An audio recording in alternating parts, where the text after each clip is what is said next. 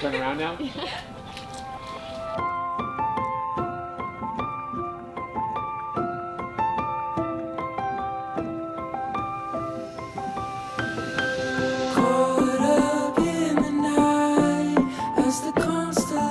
crazy to think that we've both known Krysta for 12 years because it feels like we've known her forever. Fast forward several years after we graduated college, Chris and I were both invited to Shelly and Nikki's housewarming party, and I brought Krysta as my plus one. That's the night where she met Chris for the first time, 924 Park Avenue, Hoboken, New Jersey. On February 20th, 2016. And as the story goes, the rest is history.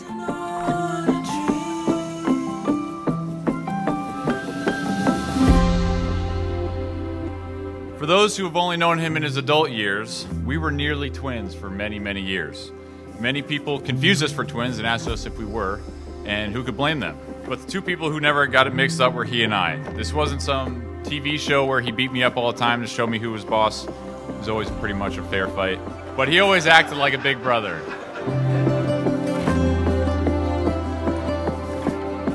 You guys have persevered through COVID and now Russian hackers shutting down a major oil pipeline. Yet, you are still married. And I think that's a pretty good sign that your marriage will endure through many things. turn around now? Oh, you look beautiful. Oh, you look so beautiful.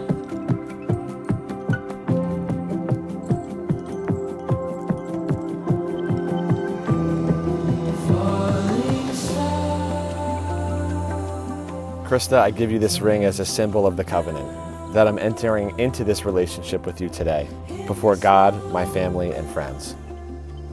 It's my promise to you, for better, for worse, for richer, for poor, in sickness and in health, To love and to cherish, to love and to cherish. I will be your faithful wife. I will be your faithful wife.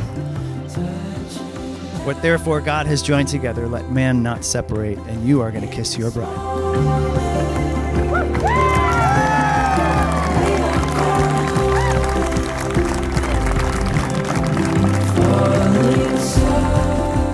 Was obvious that Krysta and Chris were meant to be.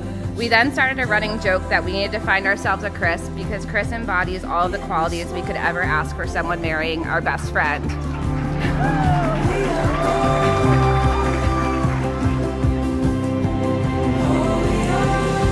Other than these lovebirds getting married today, I didn't think anyone is more excited than the parents.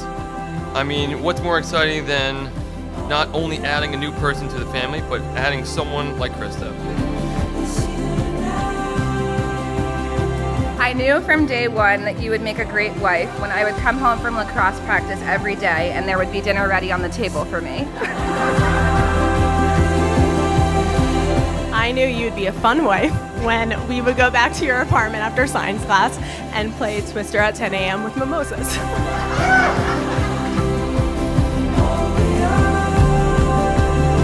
Krysta, we are happy to have you in our family. We pledge our love and support to both of you and pledge to protect you and, and be there for you just as Chris has done for us all these years. Individually, you are two of our favorite people in the whole world, and together, you guys are absolutely beautiful. Everyone in the room adores you both so much, and we're wishing all the grace, adventures, and magic in this new journey.